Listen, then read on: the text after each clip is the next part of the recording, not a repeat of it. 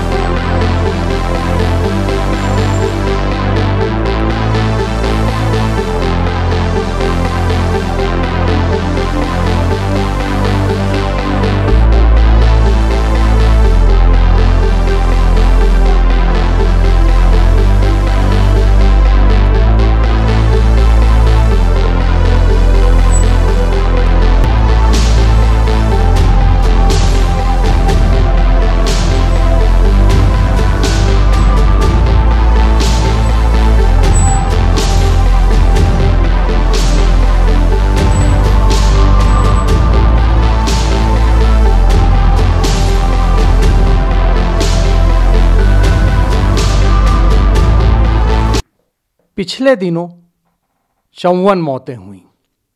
वजह थी छुइया घाटी में जाम। हालाँकि अभी किसी पर ज़िम्मेदारी नहीं डाली गई है, लेकिन मुख्यमंत्री सीधी आए थे। उन्होंने कहा था, सड़कों को चुस्त दुरुस्त किया जाएगा। सड़क पे काम लगा या नहीं लगा, सड़क की क्या स्थिति है, ये जानने समझने के लिए हम डी के स्वर्णकार जी के पास हैं। आप सड़क विभाग के जिम्मेदार अफसर हैं। आपकी निगरानी में सड़क है। अब उन्हीं से जानते हैं कि सड़क की आज की हालत क्या है क्या वहाँ काम लग रहा है और काम लग रहा है तो किस तरीके की वो तैयारी कर रहे हैं। सर मेरा पहला सवाल आपसे यही है जी। कि छुइया घाटी में जिस तरीके से जो भी हुआ वो तो एक अलग बात थी। अब क्या पोजीशन है? अब आप क्या करने जा रहे हैं? देखिए पहले मैं आपके प्रश्न का उत्तर दूँ। कि जो मौत हुई वो बहुत दुखद थी। सबके लिए बहुत दुखद है। कोई कभी ऐसी कल्पना नहीं करता। भगवान ना करे कि कभी ऐसी कोई दुर्घटना हो। और रोड की मरम्मत की बात मैं बता दूँ कि रोड का मरम, ये रीवा से लेकर शहडोल एक किलोमीटर लंबाई है। इसमें लगातार मरम्मत का कार्य चल रहा है पिछले काफ़ी दिनों से। आप लोगों ने देखा भी होगा, बहुत बड़े बड़े गड्ढे हो गए थे। तीन तीन फीट के गड्ढे हो गए थे। उनको हमने पूरे एक सौ पैंसठ किलोमीटर में अलग अलग पैचेस पे करके काम कराया। बस घाटी में जिस तरीके से हम चाह रहे थे, जितना अच्छा मेंटेन करना चाह रहे थे, नहीं कर पाए। उसकी वजह थी इसमें ट्रैफ़िक, बहुत ज़्यादा ट्रैफ़िक है। ट्रैफ़िक के चलते काम करना नामुमकिन है। पॉसिबल ही नहीं हो पाता है कि हम रोड पे काम करवाएँ, क्योंकि बहुत सकरी घाटी है और टू लेन की है और उसमें मतलब ट्रैफ़िक बड़े बड़े हैं, बल्कर हैं, मल्टी एक्सल्स हैं। तो हमने ये प्रशासन से निवेदन किया कि हमें इसमें मेंटेनेंस करने के लिए कुछ मौका मिले, कुछ हैवी लोडेड व्हीकल्स को कम कर दिया जाए, ताकि हम अच्छा काम कर पाएँ, टिकाऊ काम कर पाएँ। तो प्रशासन ने हमारी बात मानी और हम उनकी मदद से दस दिन के लिए ट्रैफ़िक को बंद कराने में सफल हुए। ये तेईस तारीख से छः मार्च तक बंद रखा गया है। इसमें लाइट व्हीकल्स का मूवमेंट रहेगा एक तरफ़ से, आधे पोर्शन में। आधे पोर्शन में हमारा काम चलेगा। जो आधा पोर्शन हमें मिला है काम करने के लिए उसमें हम दिन रात चौबीस घंटे लग के मरम्मत का कार्य करेंगे बढ़िया कर देंगे ताकि लोगों को चलने में आसानी जाए और बीच में आपको रोकूँगा। जी। पूरी सड़क की बात है छुया घाटी नौ दस किलोमीटर का जो भी है वो तो आप करेंगे ही।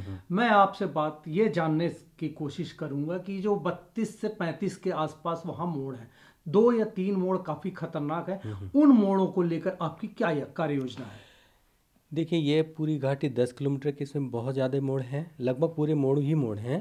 तो इसमें हमने चार बहुत खतरनाक मोड़ आइडेंटिफाई किए हैं, जिनमें त्वरित कार्यवाही और और इसका व्यवस्थित काम करने का हमने प्लान किया है। और सबसे पहले, हम पहले दिन से ही इन्हीं तीन चार मोड़ों पे काम करेंगे, ताकि हम सबसे पहले जो ज़्यादा खतरनाक जगह है, उसको ज़्यादा ठीक कर पाएँ, जिससे लोगों को राहत मिले और हमें इसको मतलब मजबूती प्रदान करने के लिए समय भी मिल जाए। ट्रैफ़िक थोड़ा सा रुका रहेगा तो इनको मजबूती के लिए समय मिल जाएगा। ये हमारी योजना है। तो क्या ये माना जाए कि आपके निर्माण के बाद जाम की स्थिति से निजात मिल जाएगी? पूर्णतः तो नहीं कह सकते क्योंकि बहुत बहुत ज़्यादा व्हीकल हैं और मल्टी एक्सल्स बहुत ज़्यादा हैं। तो मैंने पहले जैसे आपको अम, इसके पहले आपसे हमारी चर्चा हुई थी कभी फ़ोन में तो मैंने आपको बताया था कि जाम लगने की वजह जो मल्टी एक्सल्स हैं और हैवी लोडेड व्हीकल्स हैं, वो है। वो इन घाटी पे आके जहाँ जो खतरनाक मोड़ है, वहाँ पर आके अपना दम तोड़ देते हैं या कोई ना कोई ब्रेक डाउन हो जाता है। डेली ये पाया गया है। तो वो आके जैसे ब्रेक डाउन हो जाते हैं, फिर दूसरे ट्रैफ़िक को निकलने में दिक्कत होती है। कोई बहुत किनारे से निकल रहा, कोई बहुत अंदर से। तो जहाँ पर हमारी पटरियाँ हैं, वो भी डैमेज होती हैं, क्योंकि हम चाहते हैं कि वो मेन कैरिज वे में ट्रैफ़िक चले। लेकिन जब कोई गाड़ी जाके फंस जाती है तो बहुत किनारे जाती है, उसको क्षतिग्रस्त कर देती हम कितना ही बनाते लेकिन जब इतना हैवी लोडेड जाएगा तो वहाँ पर प्रॉब्लम हो जाती है टूट फूट हो जाता है। इसकी वजह से भी जाम लग जाते हैं।